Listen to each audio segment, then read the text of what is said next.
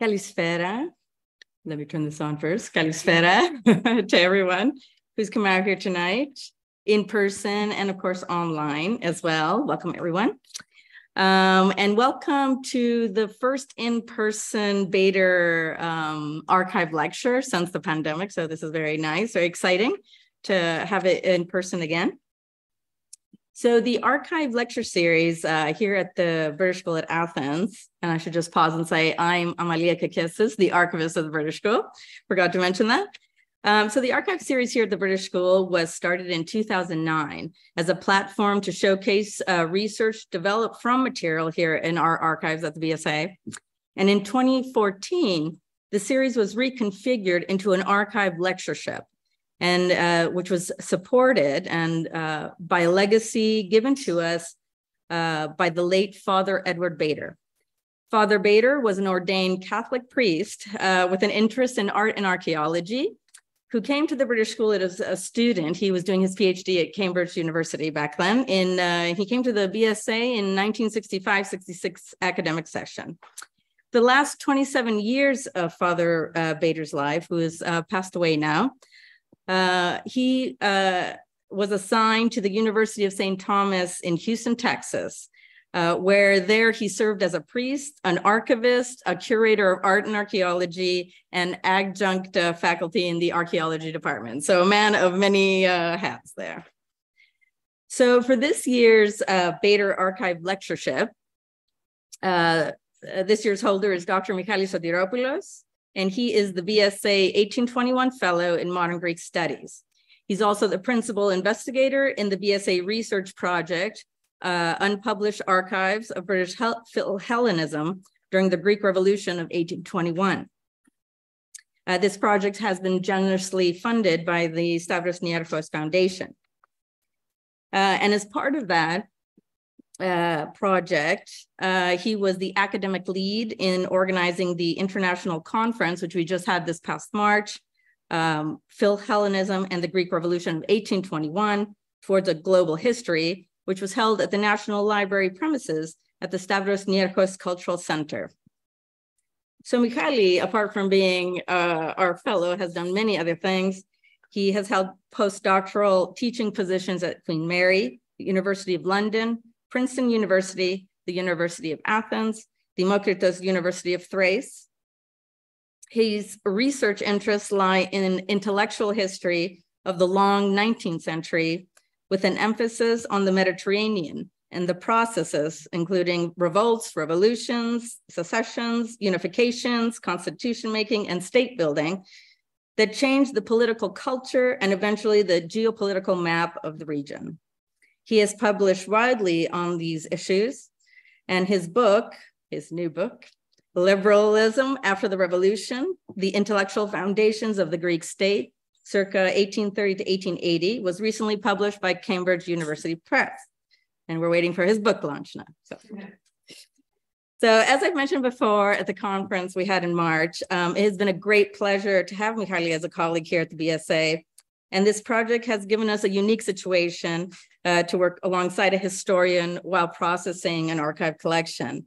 And it's made it a very fulfilling and educational experience since we both kind of look at collection from different points of views.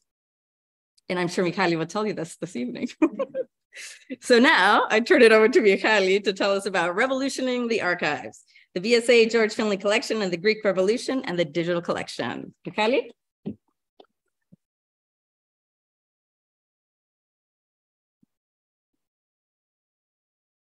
Let me get the timer. Okay. So, hello everyone. Wait, I have Yannis telling me to. Okay. Hello everyone. Uh, thank you for being here, first of all.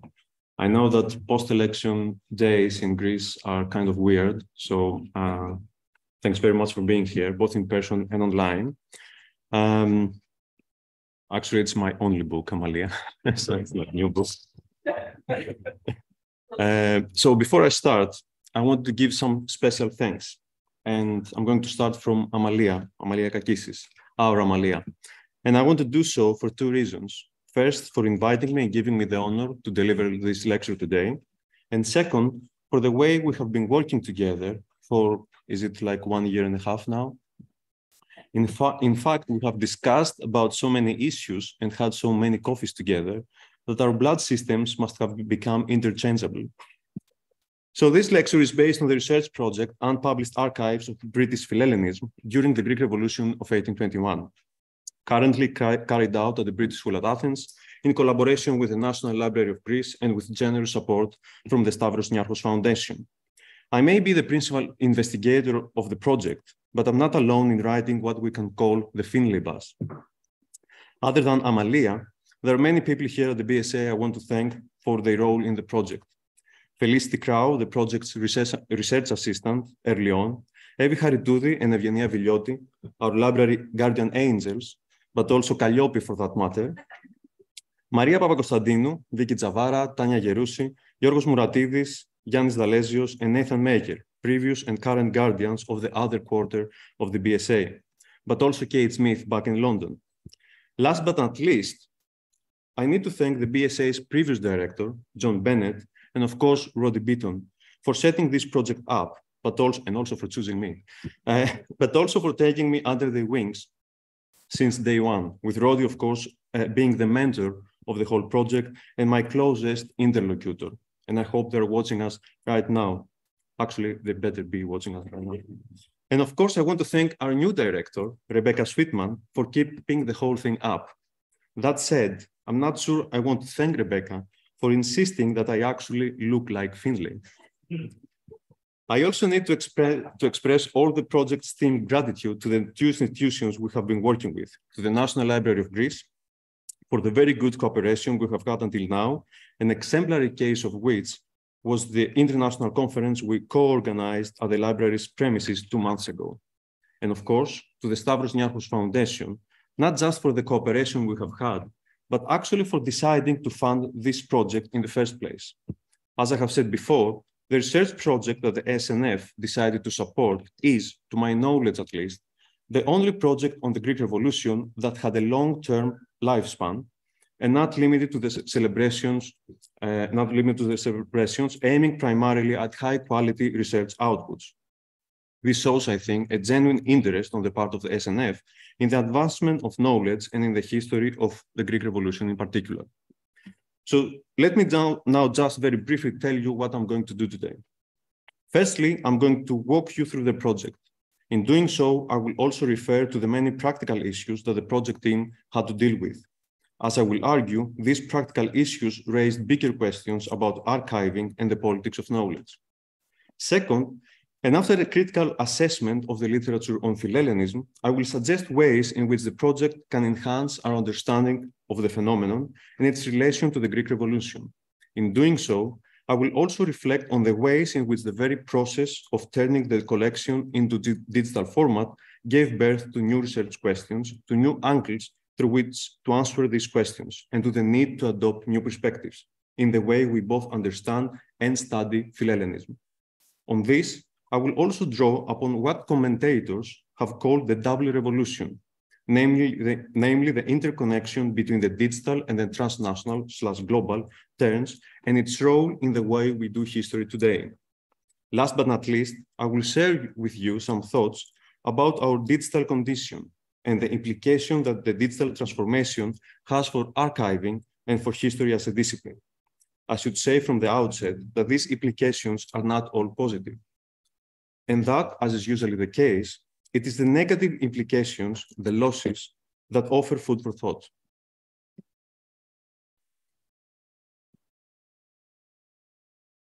First things first, what is this project and how did it come to haunt our lives? This project was born out of three interrelated convictions. The first was historiographical and was based on our understanding that despite decades of engagement with Philhellenism, scholarship remains ambivalent about its nature and the contribution and its contribution to the course of an outcome of the revolution.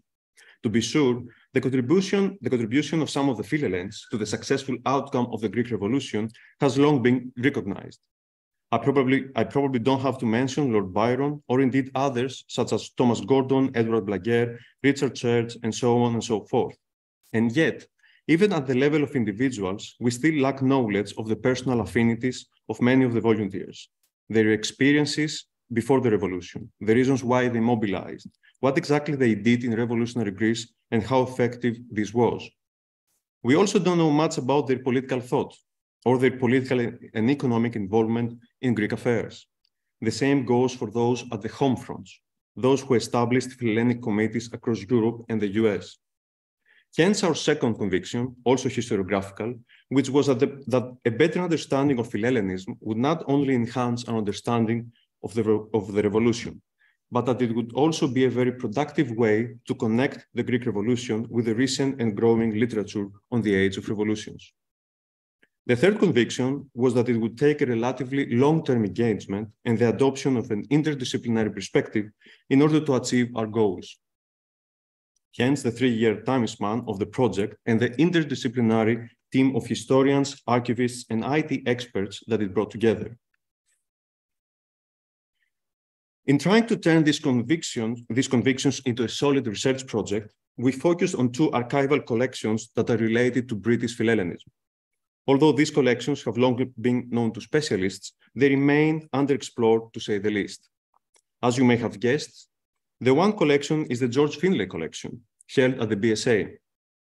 As many people here know, this collection includes both the papers of George Finlay, of the Scottish volunteer and historian George Finlay, and those of Captain Frank Abney Hastings, but also those of John Finlay, as well as the journal of George Jarvis, for the project, we of course focused on the first two collections. The other collection is that of the papers of the London Greek Committee, held at the National Library of Greece. Collectively, these archives reveal a great deal about the character, motivations, and especially the military and political judgments of the individuals involved, as well as of many others, both British and Greek, with whom they interacted. Based on these two collections, the project has two goals two aspects, if you like, what I, what I like to call the archival aspect and the intellectual aspect.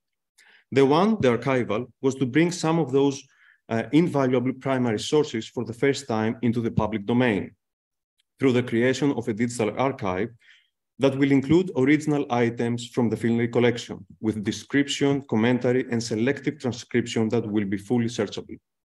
The second goal, the intellectual, of the project was to produce new knowledge on Philhellenism by way of an in-depth study of the Finlay collection together with the papers of the London Greek Committee, as well as by way of collaborative work by many scholars on the broader topic. I'm very happy to say that many of the research outputs we had initially designed have already come into fruition, and I have here some examples. This is our website. This is the digital collection that we that is online by now since I think March uh, 2023. Uh, the conference we organized, and Amalia talked about this, and of course many other smaller research outputs. But please do visit all of them, especially the digital collection, because we need the feedback. These are all very well, but who was George Finlay? And what is his collection about? George Finlay was born in 1799 and spent most of his youth in Scotland. Coming from a family of Protestant merchants and bureaucrats, George Finlay was employed initially as a law clerk before moving to Göttingen to study law. It was there that he developed an interest in the Greek cause and an enthusiasm for liberal causes that led him to finally go to help the Greeks in 1823. He initially stayed in Greece until 1825 only to return in 1827 when he, when he decided to settle permanently in Athens until his death in 1875. Always involved in Greek politics and very active intellectually, Finlay would wear many different hat, hats in the course of his life. He would make a name for himself as a journalist, a member of several associations, a founding member in many instances, a collector, a commentator, and a traveler. Finlay's most lasting contribution would be the, the, series of works on the history of Greece that he began publishing in 1844, including his History of the Greek Revolution that appeared in 1861 and remains to, the, to this day one of the most authoritative accounts of the conflict. All of this wide range of activity is reflected in Finlay's collection held at the BSA.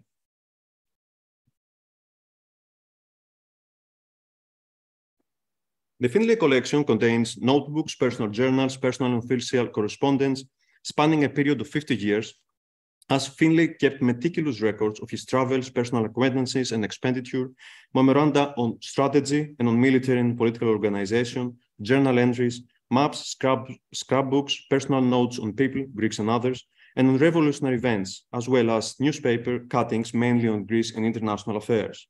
It also contains, contains corrected proofs of Finlay's published works, including the original manuscripts of the history of the Greek Revolution. As I already said, also included in the collection are the papers of Finlay's fellow Philhellene, Frank Abney Hastings, a British naval officer who remains one of the unsung heroes of the Greek Revolution.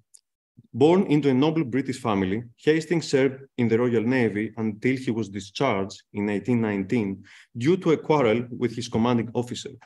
In 1822, he decided to join the Greek Revolution.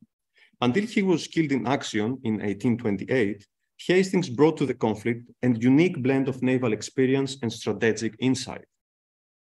He was one of the first to propose using steamship in warfare and captained the first one ever built for the purpose, the Carteria. You can see it uh, up on the right.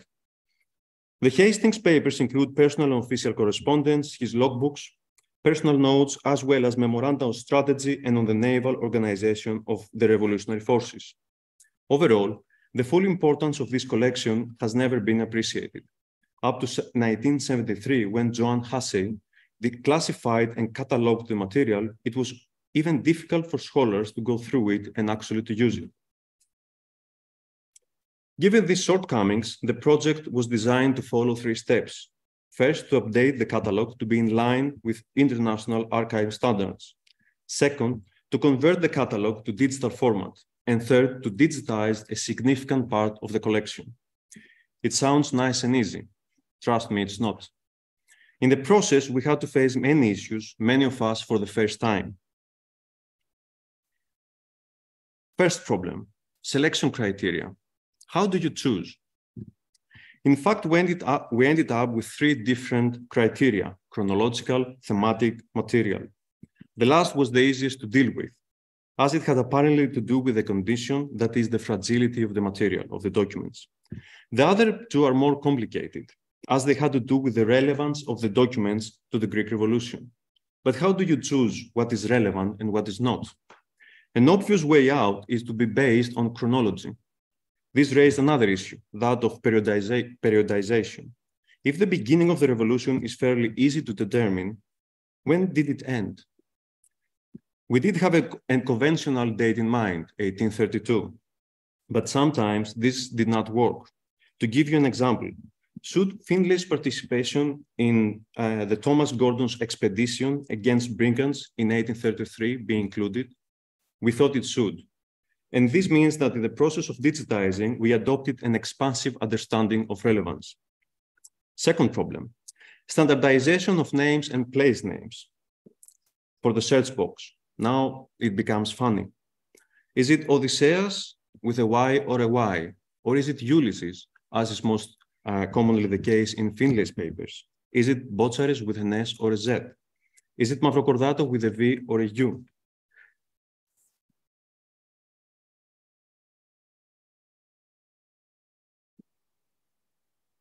To make it more complicated, wait, wait, there's more. Uh, I'm sure you're all familiar with Amphissa or Agrinio as significant towns of the time. The problem is that they did not exist under these names. It was Salona and Vrachori, respectively. So this is something you have to take into account when you build the, the keywords, the metadata. Even more puzzling, many times even the capital of revolutionary Greece is not to be found as Nafplion, either with an F or a U. It is to be found as Napoli di Romania. Marcella is not here. She would, be, she would feel proud. To make it schizophrenic, how do we define an institution? Is it ephoria or ephoros? Is it eparchia or eparchos?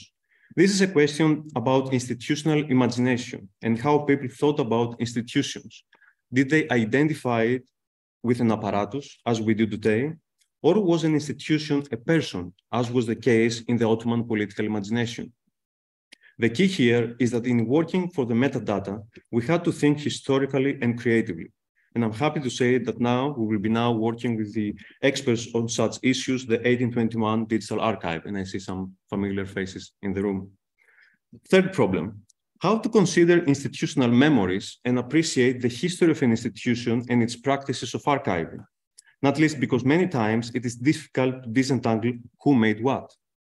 Yes, most of the documents were written or collected by Finlay or Hastings, but were they put together as they are today only by them? What was the role of those who cataloged it? Why did Hussey catalog it in this way? To what extent did she move documents around, which apparently she did, as Mia, Malia, and Felicity were gradually realizing? And what about the other handwritings we were discovering? Who was messing with the collection, when, and main, mainly, why did they do so? These are historical questions. And I think the point I'm trying to make is that a collection like this speaks to us not just about Finlay, and his world, but also about what came after, about the history of the BSA itself, about its people, about academic relationships and choices, about the politics of archiving, and by extension, about the politics of knowledge. We hope and believe to be able to address such questions in the near future. Fourth problem, IT and information uh, issues, or backend and metadata issues. I will never forget Roddy's face whenever Amalia was trying to explain to us what this means. I was pretending to understand, to be honest. These practical issues were related to a wider issue that I came to realize little by little, that in order to bring such project into fruition, we need to somehow bring together different disciplinary fields and the languages that they go with. In most cases, these languages are those of history, archiving, and IT. History, for example, is usually interested in the content of archive document, of archival documents, Sometimes, in its good, good days, it is also interested in what constitutes an, ar an archive and how it was created. That said, it's not very common for historians to be involved in the creation of archives, like Amalia said in her opening remarks.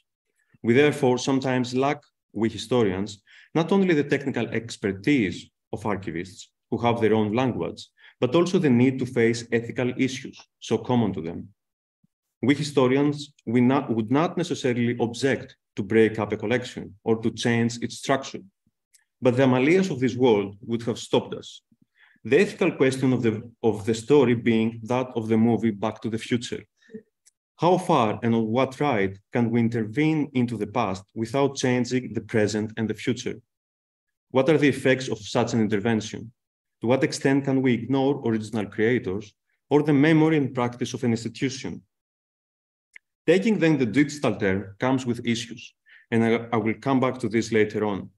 What is more, when taking the digital turn, another language is involved, that of the IT, information technology, a largely unethical language, but at the same time, not exactly without limitations. Technical possibilities are in fact not limitless, until, at least until now. The infinite archive that some have spoken for is still a question. Overall, the point is that in making such an archive, a hard negotiation is in order. And this, this, this negotiation is, of course, ongoing. The digital collection is now live, but we will keep updating it, in particular with the transcriptions of the document until the end of the project in the autumn of 2024.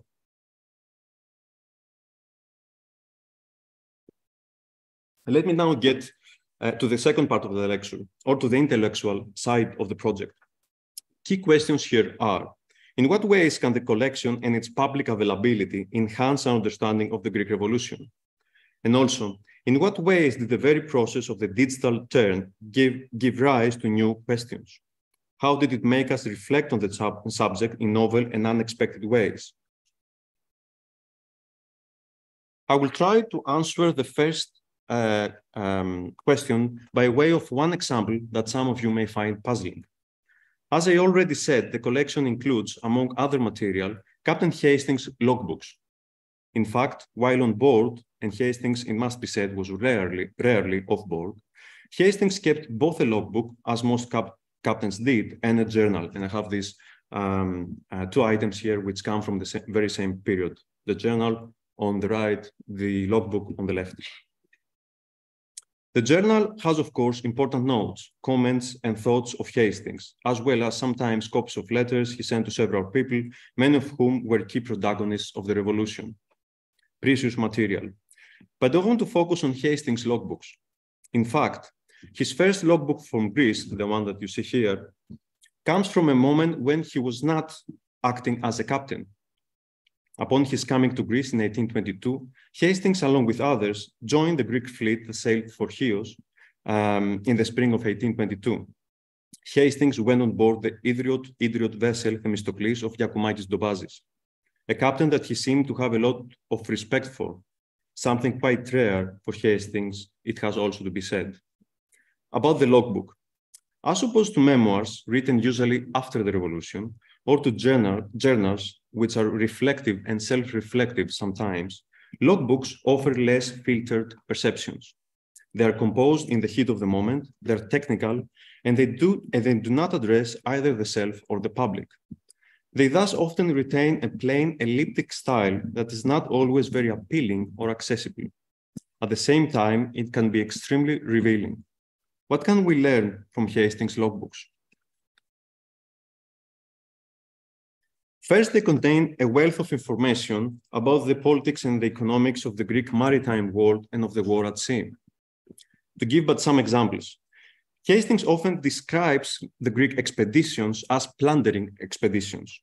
He's not alone in using such, such characterizations. The same description can be found in Greek logbooks, such as, such as that of Iorios Skandalis, Vice Admiral of Psara and Captain of Philoctetes. In 1824, Skandalis writes of the operation of a Psarian fleet from Psara against Chandarli, explicitly as being an, eh, an as Ekplus Lafiragogikos. And of course, such expeditions led in many cases to internal quarrels about the distribution of booties. The logbooks have much info on this latter. They also contain information on expenses and on other financial transactions, in, including the trading of slaves. At the same time, logbooks also tell us a lot about the wider maritime politics. As in other cases of, of logbooks in Hastings too, one can find notes on the war councils that the captains held in several occasions during the war. To recall Spiros Asdrachas' concept for the Aegean Islands, in such moments, one can see the Ploti Politia, the maritime republic, at work. But this was a republic with a twist affected by the war compared to the one that Asdrachas had in mind. Second, the logbooks tell us, tell us a lot about the spread of information and its mechanism, as well as about the role of this information, including of fake news in the war effort. Think, for example, the rumors about Russia's intervention, or the rumors about tortures in the hands of the Greeks, or about being sold as slaves that pushed some Turkish women attempt suicide when they were captured by the Greeks. Were these just rumors? How were they generated? And what can such accounts tell us about slavery in the region? And slavery and the slave trade in particular are kind of historiographical sacred cows that can open actually wide research paths. Third, the logbooks can make us think of novel ways about identity issues and collective identification. Like Finlay and many others, and many others, Hastings has a tendency to make distinctions along local, local or regional lines, islanders, Idriotes, Psariotes, Maniotes, etc. Unsurprisingly, when using the term homeland, he does so by usually referring to someone's local homeland, local patrida. For example, islands such as Hydra or Psara. Occasionally, he refers to it in terms of a national homeland, Greece. In some cases, other terms jump into the texts, Hellenes or Romni, Hellenes or Romni. It would be interesting to see how and when Hastings, or Finlay for that matter, use these terms. It would also be interesting to make comparisons.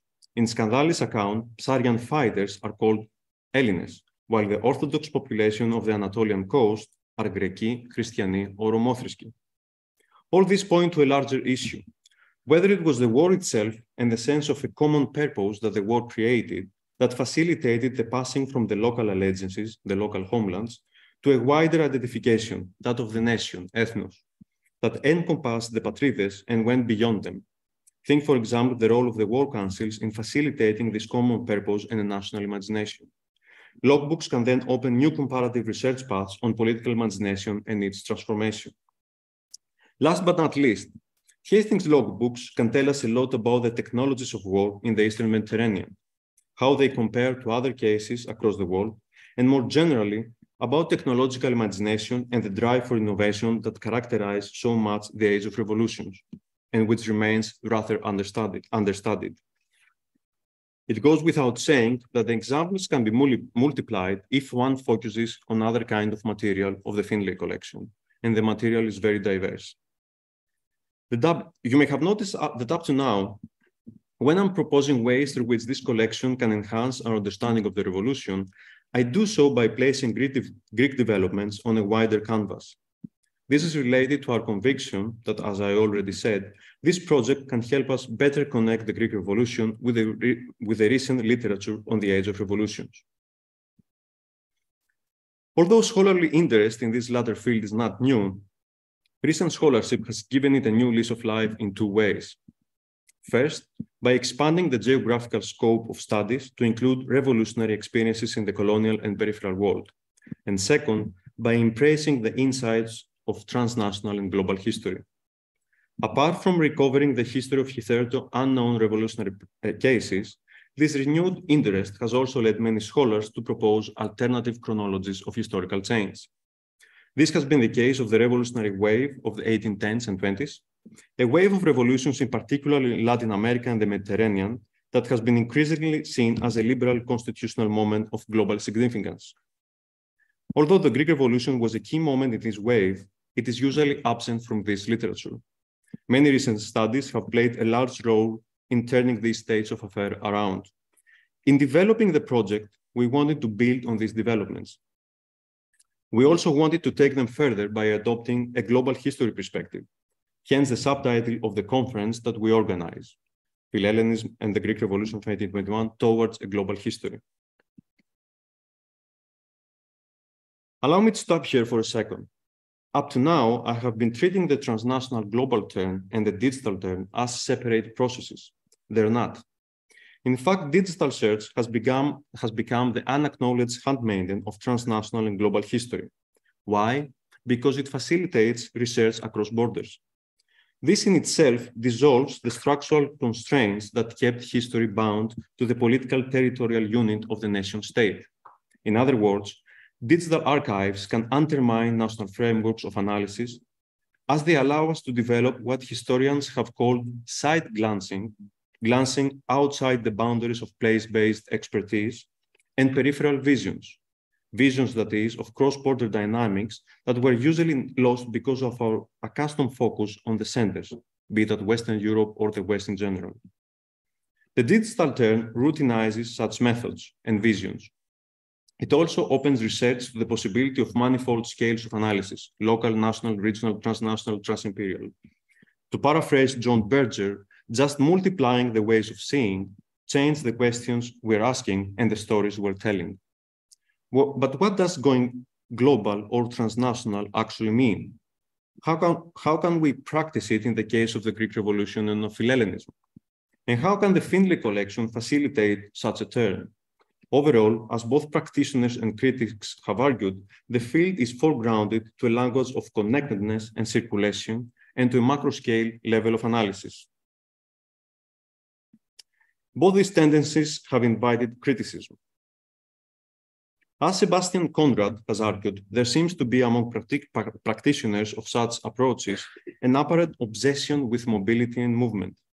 The problem with that is that it often leads to a downgrading of that which did not move, of place-based knowledge, of primary sources, as well as of the micro level.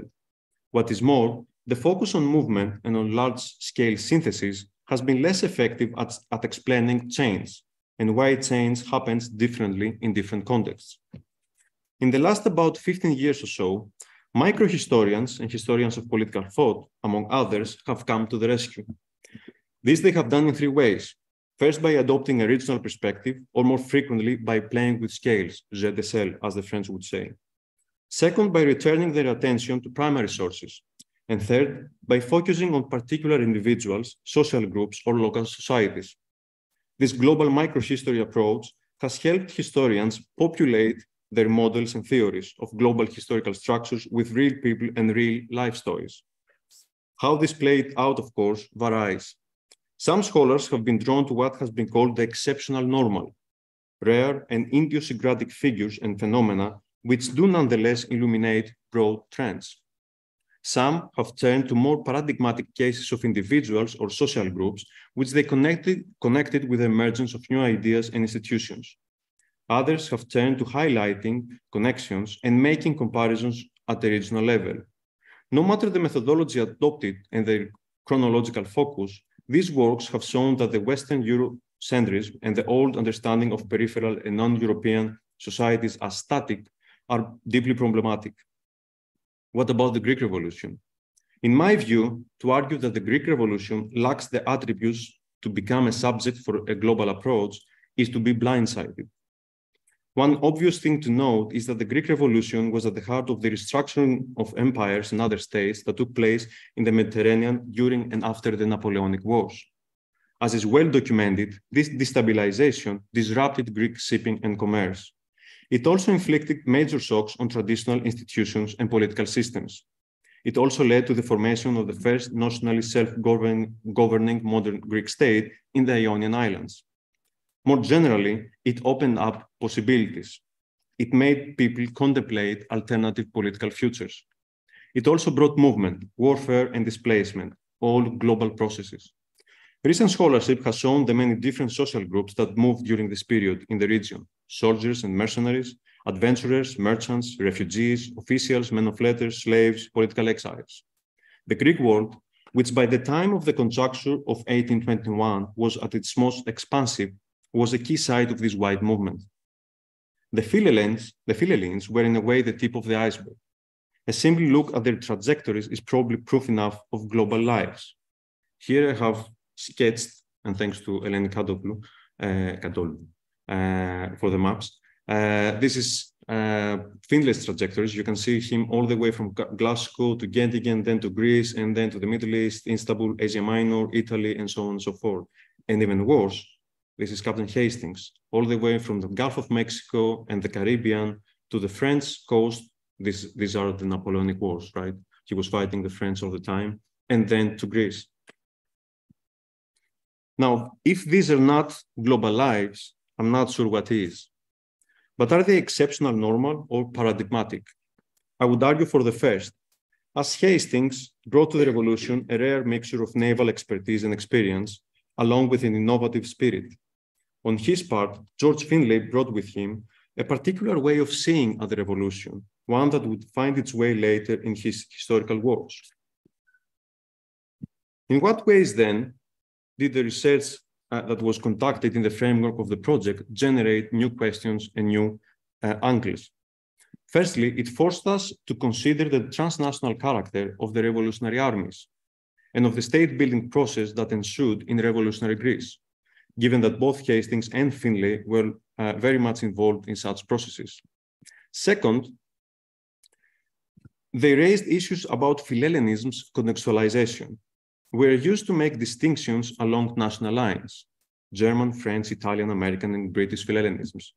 But what if we take a more regionalized approach in our understanding of the phenomenon, one closer to the spatial configurations of this period? Think, for example, of the heavy presence of Irish and mainly Scottish in the British Philhellenic movement. Thirdly, it made us rethink the role of the press and more broadly of how, how ideas circulated and what ideas circulated. Philhellenism has been associated with early liberalism and ideas of national emancipation. But as we came to realize, and as we saw in the maps, many Philhellenes lived their lives and formed their thought in a context of imperial and colonial expansion. Many of them had fought in imperial armies and had deep experiences of empire, but also of national emancipation struggles. For them, the Greek Revolution became a sort of crucible for their political visions. Thus, Philhellenism makes a perfect case for studying how the political and intellectual currents of the era, liberalism, republicanism, nationalism, romanticism, played out in an instance of revolution in the Mediterranean periphery, one which for a short period of time became the international and liberal cause par excellence. In fact, Far from being just a testing ground, the Greek Revolution became a factory that produced novel and conflicting ideas about politics, society, gender, religion, as well as about what it means to be modern and European but also white and from the West. As with all real, real, real revolutions, methodological revolutions come with a cost. I will close the lecture today by referring to some of the challenges that this double revolution has generated for historians, and more generally, for our relationship with the past, but also of how, to how to address those challenges.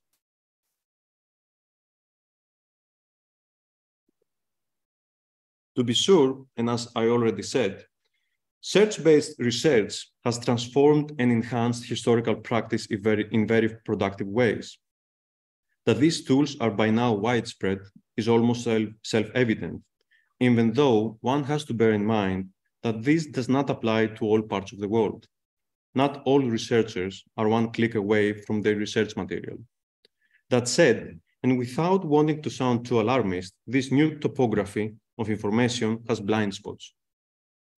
I refer to the first one when I argue that there is a tendency among global historians to focus on certain kinds of actors and certain aspects of their lives.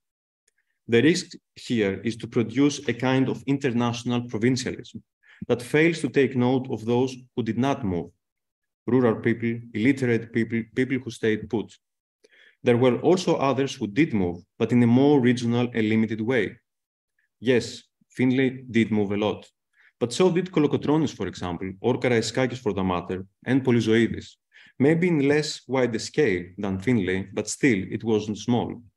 So did many other less famous. The key argument here is that we must also consider and digitize the most difficult forms of the non-canonical, the non-Western, the non-elite, and the quotidian, the materials that capture the lives and thoughts of the least powerful in society. What is more, focusing on that which connects obscures sometimes that which is connected, regions, in-place structures, economies, societal dynamics. Spatial history and its emphasis on place and space here are important.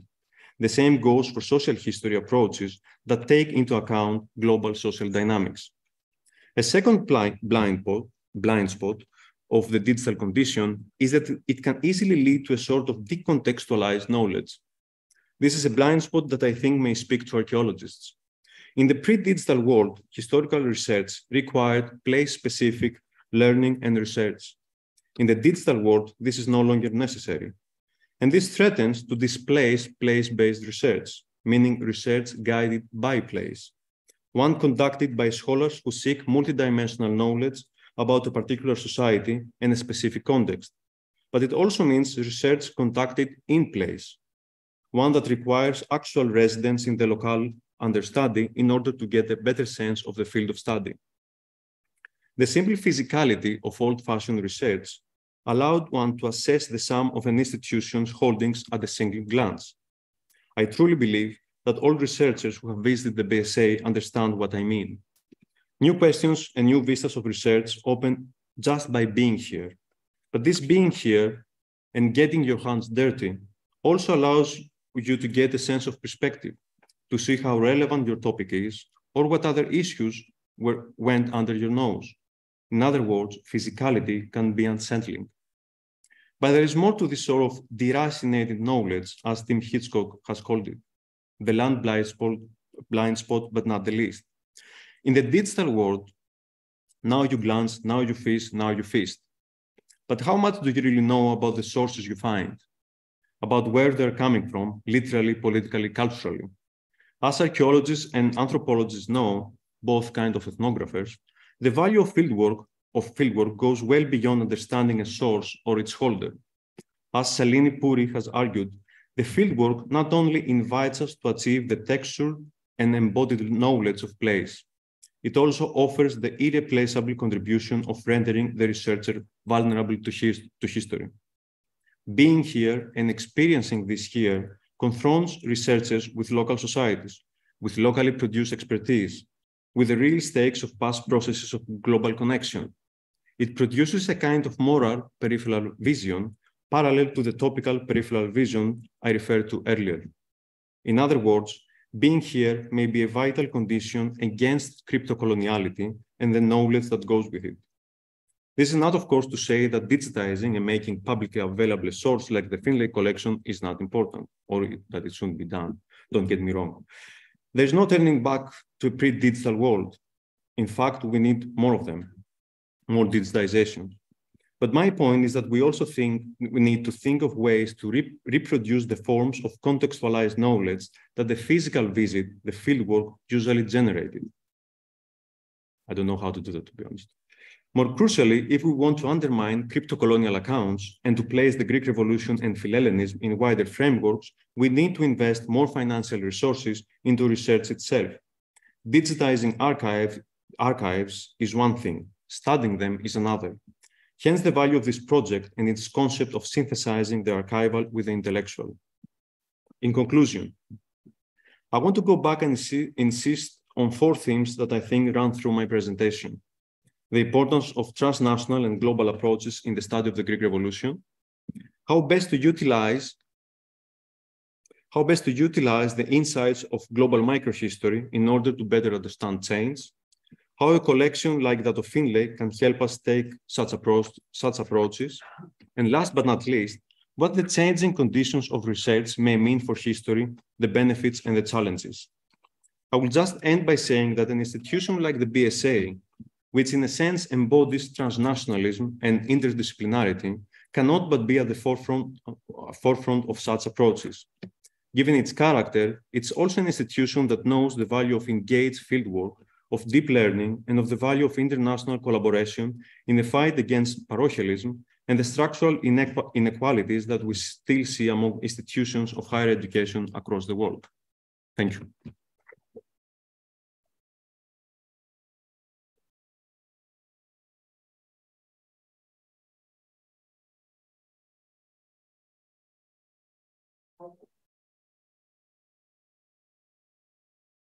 Thank you very much, Patty, uh, for that very interesting lecture. Now, um,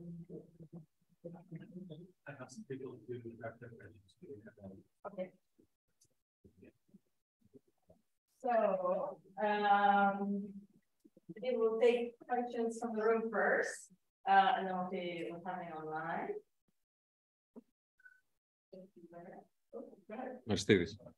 Microphone? For the. And then Yep. we tend to do is ask uh, the speaker to clarify. Did you want to come? Okay, uh, then we can. Yeah, yeah, yeah, yeah.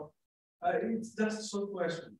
Um, what is the extent that we may use uh, the Hastings archive, uh, especially the notebooks? I get the feeling that we do not explore the material um, but uh, apparently, and of course, uh, your uh, lecture was stimulating, very interesting.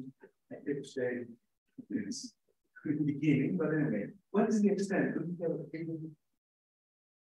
First of all, uh, for the audience uh, on Zoom, Aristides Hadjis is asking whether, uh, apart from saying that it was a very stimulating lecture, he's asking whether and to what extent did Finlay use um, Hastings' papers and his logbook, logbooks in particular so I don't think he, he used the logbooks, but he did use his um, many of the memoranda on strategy, on naval organization, things like that.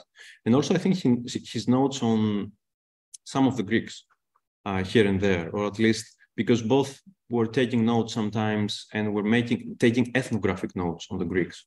Don't forget, these are foreigners coming into Greece and they're also observing. If I'm not mistaken, he used almost not, I don't know how many there were, but a lot of characterizations of the Latin basis, for example. And we also used uh, probably the journal extensively for the 1827, 1828 campaign in oh, yeah, liberating yeah. uh, Western Italy. I, I totally agree. That, that, I think that especially for the sea campaigns, uh, I totally agree. one thing is that I think it has to do also with what I said about the logbooks, but that they're not very accessible and, and appealing to someone who does historical research. And maybe Finlay was not looking for this kind of information, although I think if you do some kind of detective work and connect what Hastings is saying, because this is, a, you know, usually the notes are very technical, and especially of Hastings.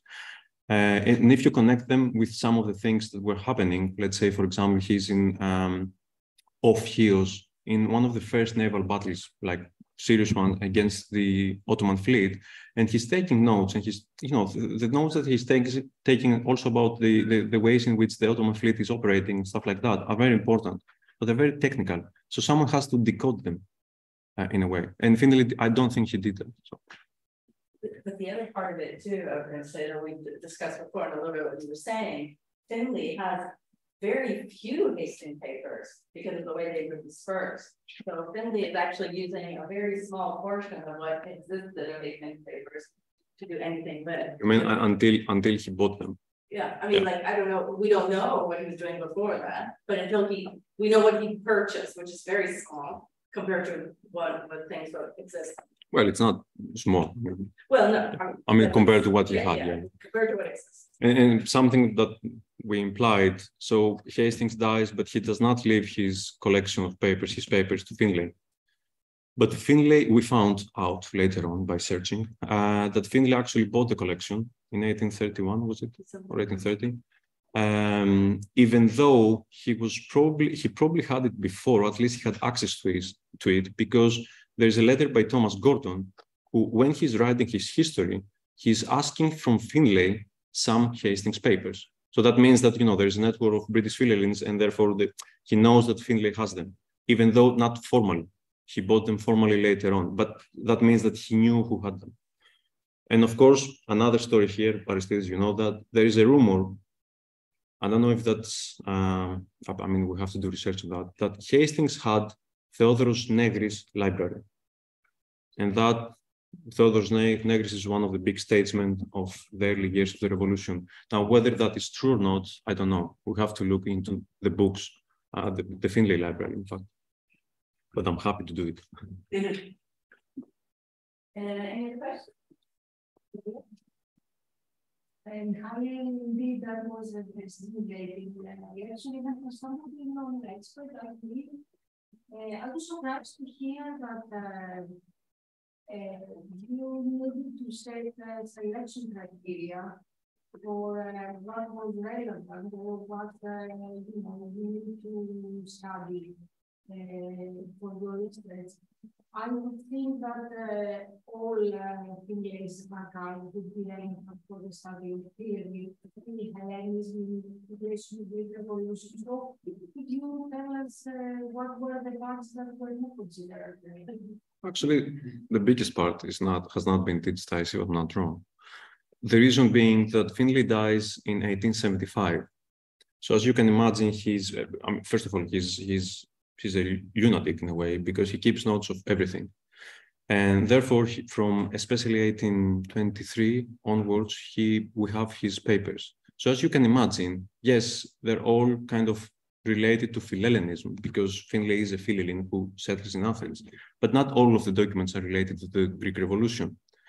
So, of course, there are many, you know, if you want someone who wants to study, for example, the Don, Pacifico affair, the Ottonian period, the period of um, uh, King Otto, and later on of King George, of the Revolution of 1862, 64. There are many documents in the Finlay collection.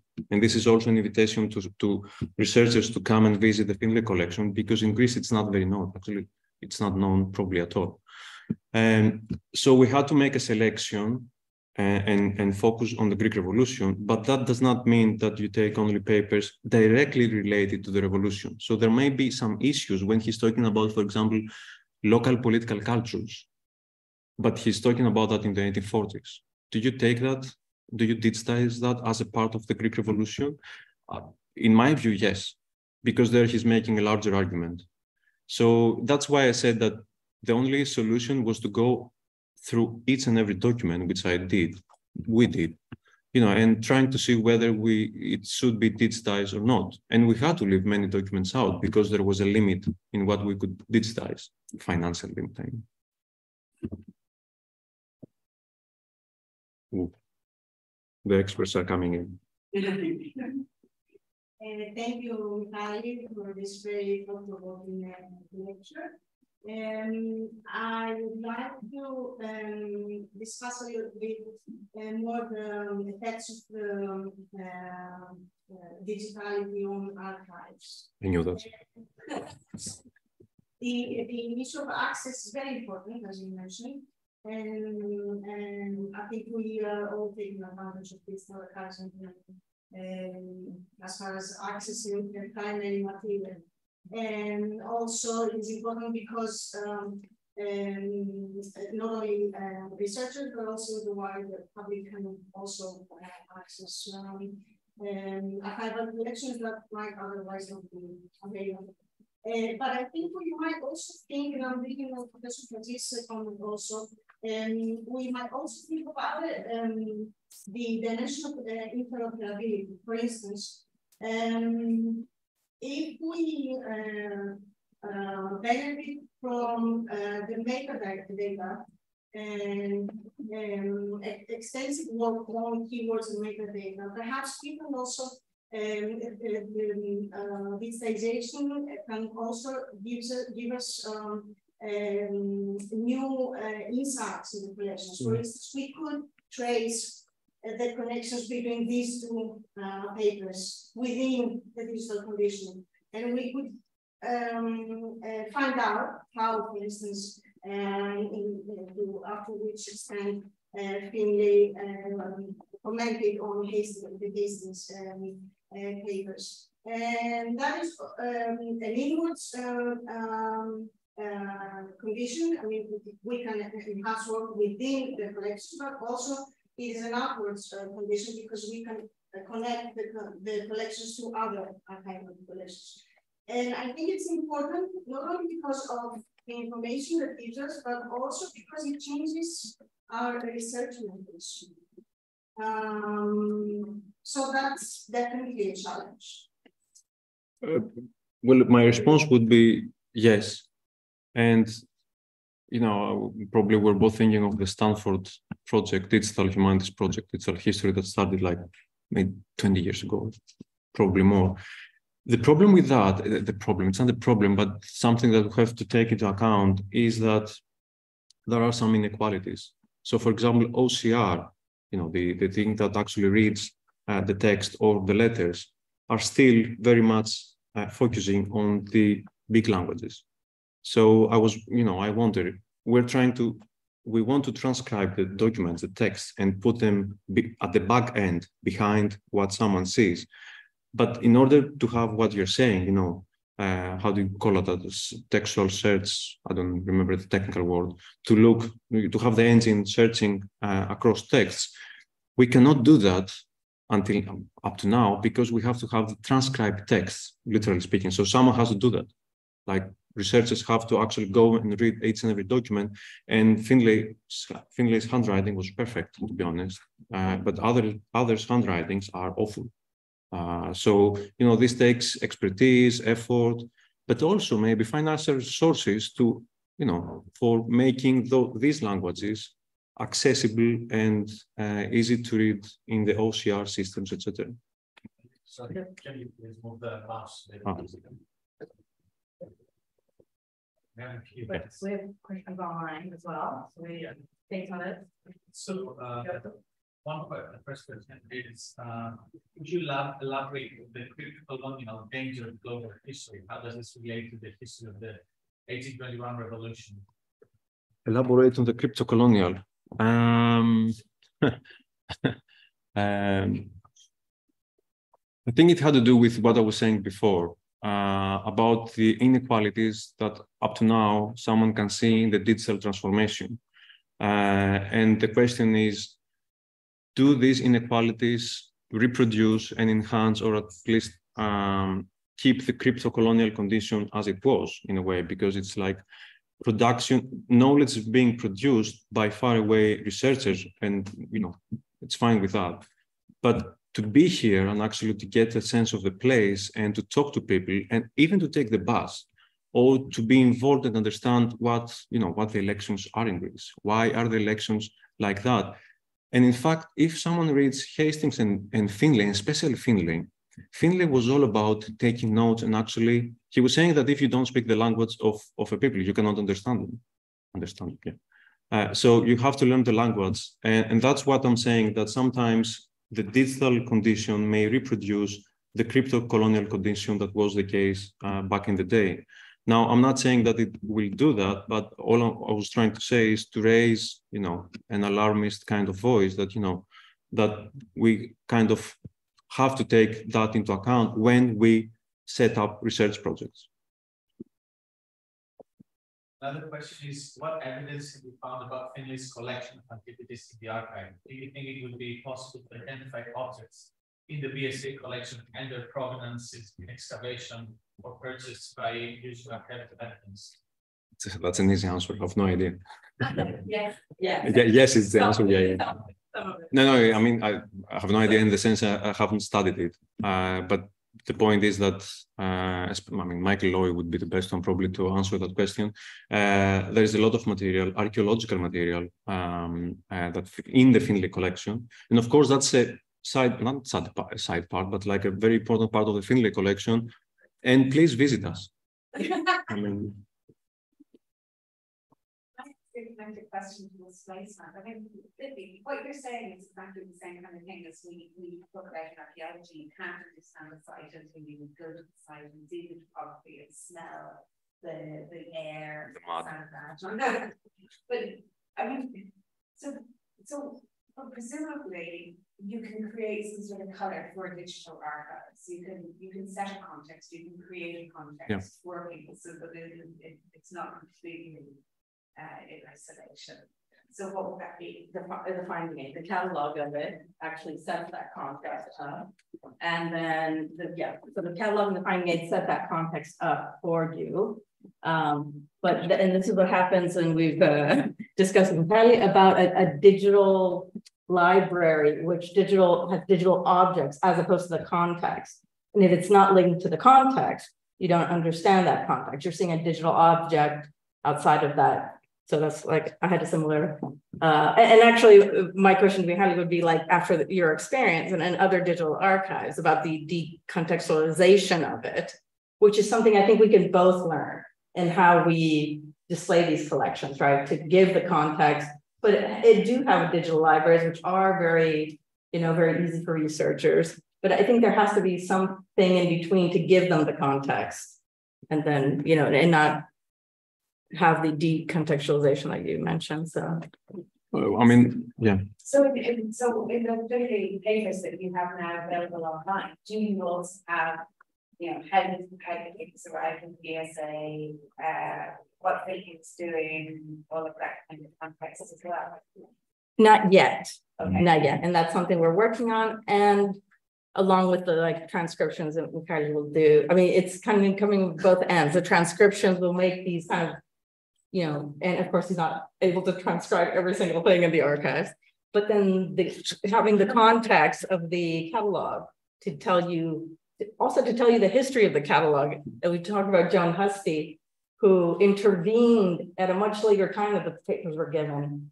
And we have to kind of assess her intervention of where they were before, because you know they didn't come off Finlay's bookshelves and get placed in the archives.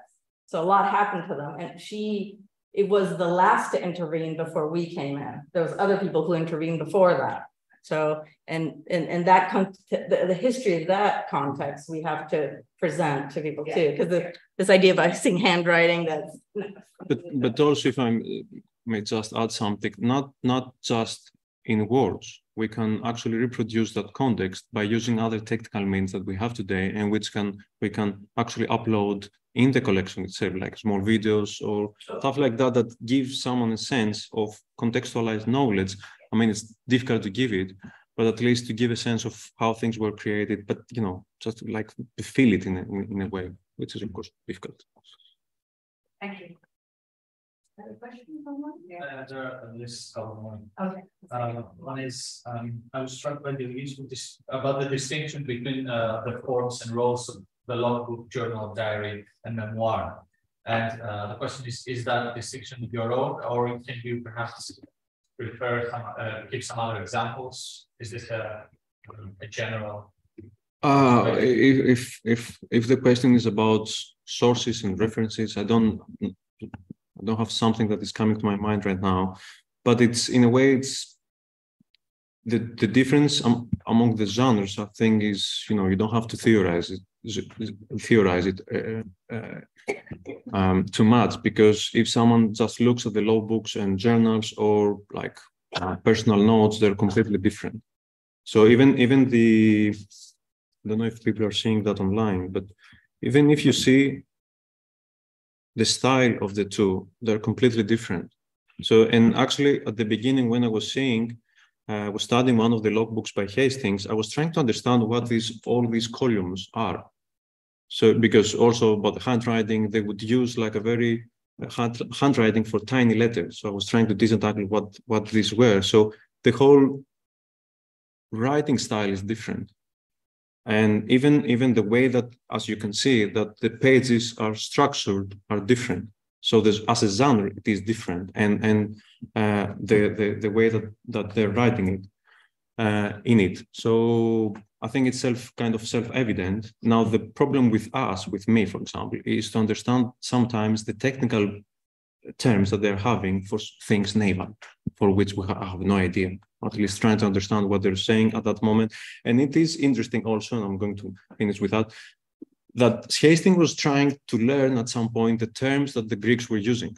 And so we have a sketch where he's actually, uh, there's a ship, a vessel, and he's uh, writing the Greek words for different parts of, of the vessel. And many other, in many other cases, trying to understand how the Greeks were, um, uh, what terms the Greeks were using in order for him to understand the Greeks because he was participating in the Greek Revolution. He was joining the fleet of the Greeks, so he had to somehow uh, communicate.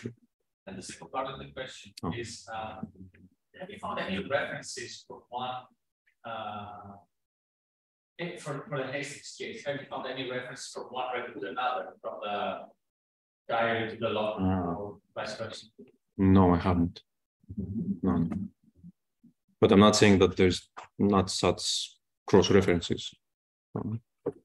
Yeah, one more question. Uh, can you say anything about your plans for publication of your findings in book or article? Oh, the next book. uh, yes, uh, so there is going to be, uh, probably I didn't say that, there's going to be an edit volume coming out, hopefully next year, uh, from the BSA in the BSA series, if the BSA accepts uh, the manuscript, the, the proposal. The, the edit volume is a volume that is coming out um, based on the papers that we're giving in the conference. It's not proceedings. We ask people to elaborate on the things that they prepared for the conference, and therefore we'll have an edit volume. Um, as for my own research, there is a, there's going to be a chapter in a book, edit book, coming out probably next year. I'm not sure uh, yet, uh, which is strictly on Finlay and his writings uh, during the 1820s. And I mean, hopefully I can do more research and also find some time to uh, write more. Right. So I think uh, we'd like to thank Michali again for a great lecture.